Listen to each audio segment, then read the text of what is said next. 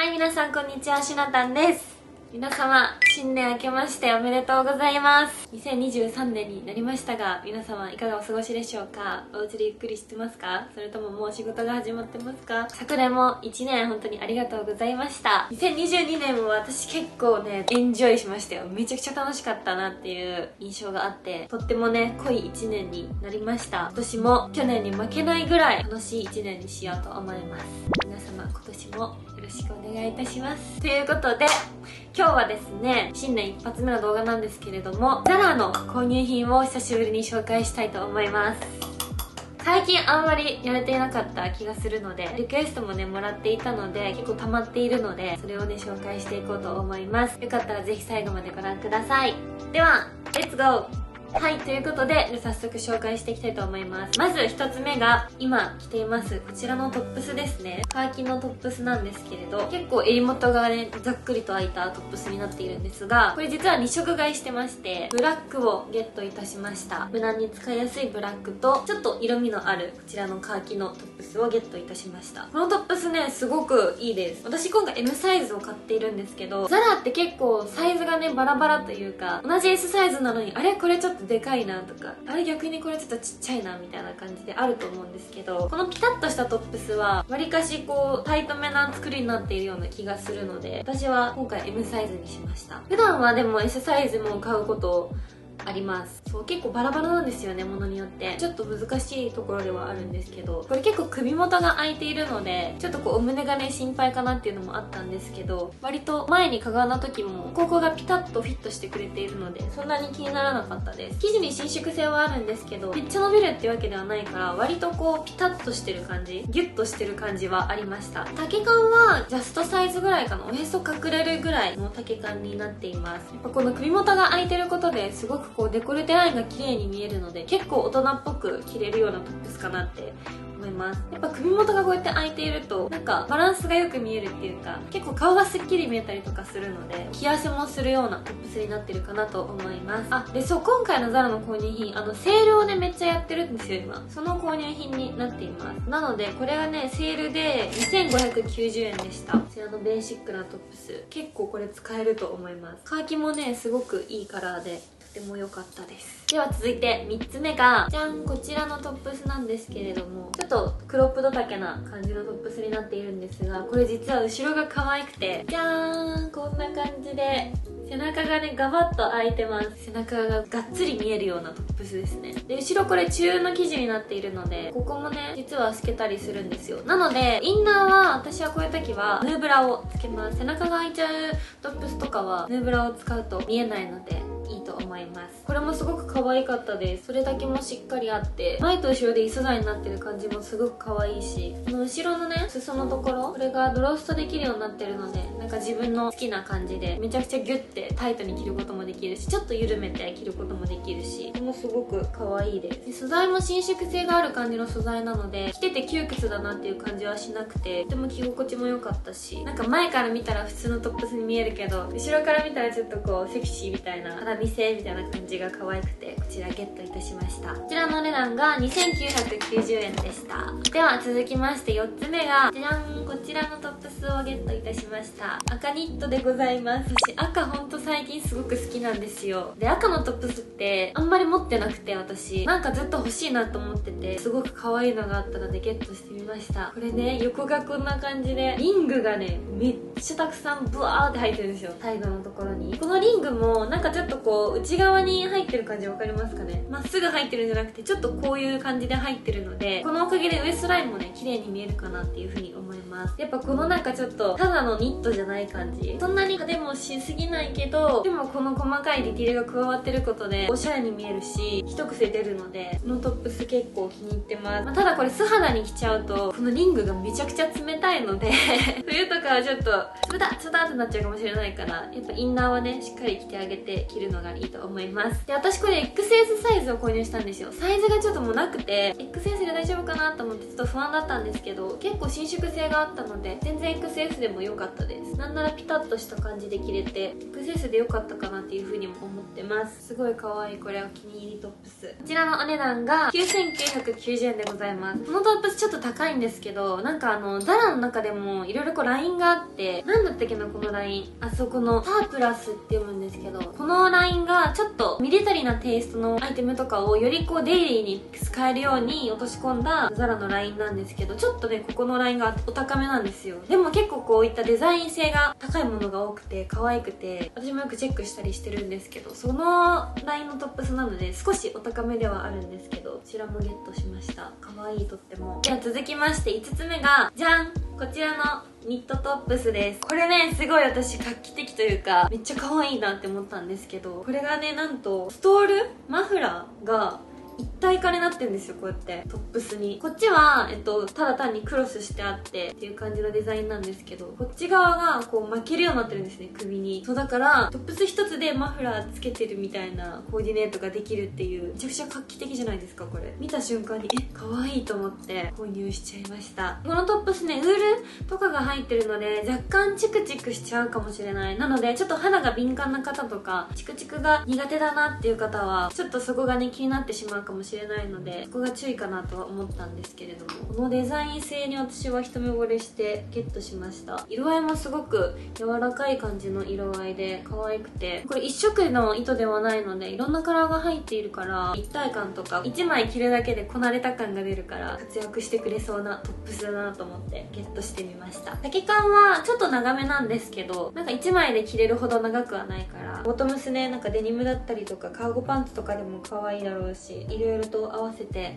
着ていきたいなっていうふうに思ってます。こちらのお値段が5990円でございます。では続きまして6個目がじゃじゃーん。こちらでございます。私本当 ZARA のライダース何個目ですかっていうぐらいたくさん持ってるんですけどこのライダースまたデザイン可愛くてまあこの見てわかる通りスタッズがねめっちゃついてて結構ハードな感じのライダースになっています。私今まで持ってたのはなんかちょっと色味がカーキブラウンっぽいやつとかすごいこうヴィンテージ感の強いやつとかブラック持ってるんですけどブラックもスタッズついてないし結構オーバーサイズで長めなレザージャケット持ってたんですけどこのライダースはこうスタッズがついてたりとか丈感も割と短めになっているので、まあ、そこがねちょっと違ったりとかするんですけどこれめっちゃ可愛いんですよ。私が一番一目惚れしたポイント後ろなんですけどここにね後ろにハートの形でスタッズがついててこれが超可愛いと思って後ろ姿まで可愛いじゃないですかハートここにある感じが。そこに一目惚れしちゃってゲットしました。多分このハートついてなかったら私さすがに ZARA のライダースめちゃくちゃ持ってるからさすがにやめてたと思うんですけどハートにマジで一目惚れしてめっちゃ可愛いと思ったのでゲットしちゃいました。ちなみに私は L サイズを選んだんですけど程よいオーバーサイズ感でバランスよくとても可愛く着られました。でこのライダースなんですけど袖の形がすごい可愛くて袖がただただまっすぐバーってあるんじゃなくて手首にかけて少しこうカーブをかけてどんどん細くなっていくような形になってるからそれがすごくねシルエットがとっても可愛くてそこも気に入ってます。素材もとても柔らかいのでレザーなんですけど全然こう窮屈感とかもなく着やすく着れるのでそこも好きなポイントです。こちらのお値段が1万1990円でした。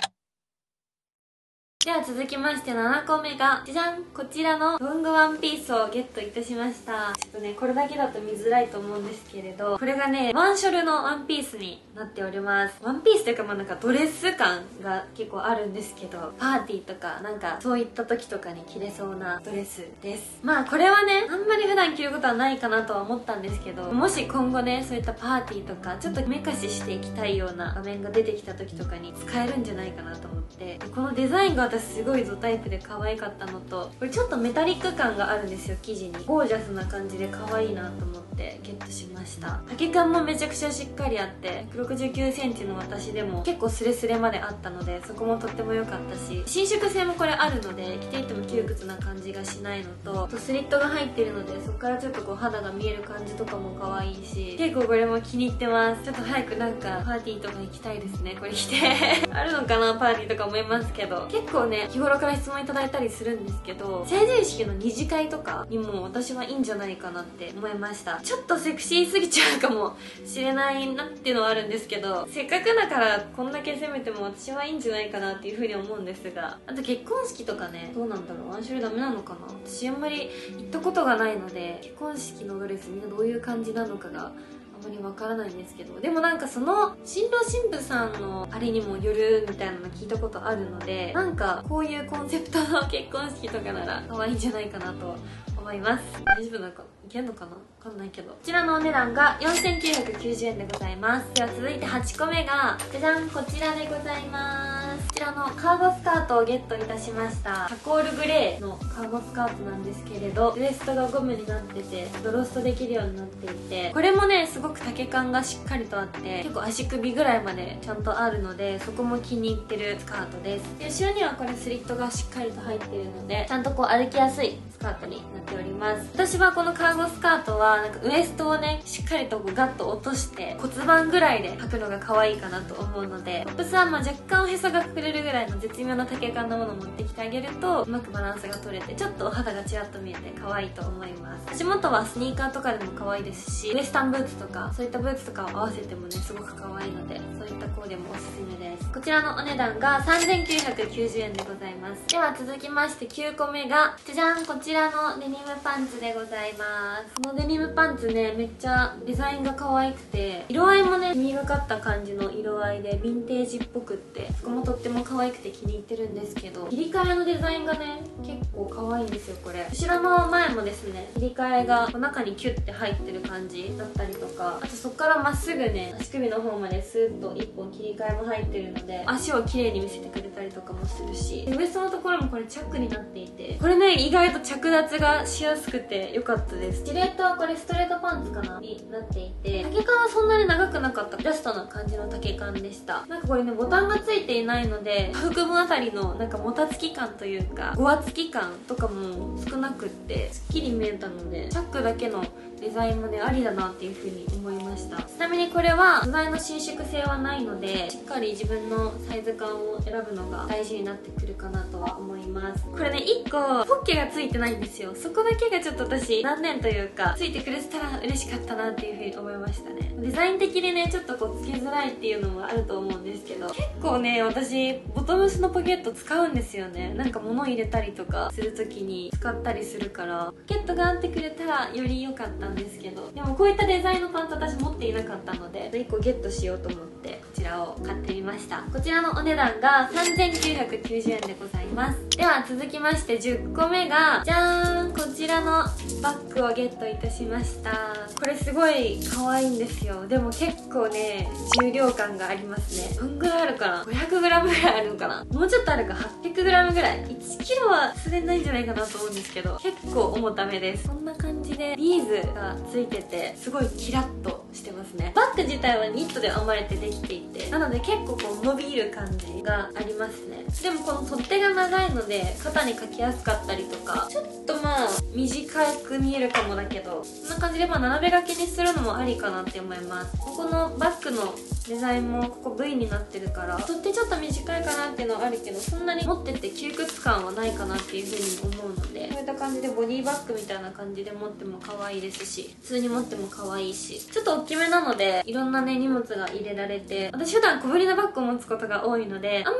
り大容量のバッグっていうの持っていなくてたまに今日荷物多いわっていう日があるんですよ。そういう時にあんまりなんか多めのバッグとか持ってなかったから結構紙袋で持ってったりとかしてたのでちょっと大きめのバッグ探しててでこのバッグがビーズがついてることでなんかこう柔らかすぎないっていうか普段かっこいい系のファッションをする方とかでも持ちやすいなと思ってこれがアクセントになるのでいいなと思ってゲットしました。こちらのお値段が5990円でした。では続いてでラストでございます。ラスト11個目がじゃじゃーんこちらのまたバッグなんですけれどもワンハンドルのバッグをゲットいたしました。こんな感じで持てるんですがこれはすごい可愛くないですか？こちらもスタッズがバーンってついてて結構癖のあるバッグになっております。このバッグはね私すごい一目惚れでしたね。可愛いと思って。やっぱブラックなのでとっても使いやすいし私バッグ本当にブラックのバッグばっかり持っててで実際使うことが多いのもブラックのバッグなんですよ。やっぱりどんなコーデにもねすごい合わせやすくてブラックって結局。だから割とねなんか困った時とかは黒のバッグを持つことが多いのでなんかいろんな種類欲しいなと思ってこのテイストのバッグは持っていなかったので今回こちらゲットしました。これレザーのバッグなんですけどこのレザーもね結構柔らかくってすごい使いやすそうです。で中はちょっと見づらいと思うんですけどこんな感じになってて。物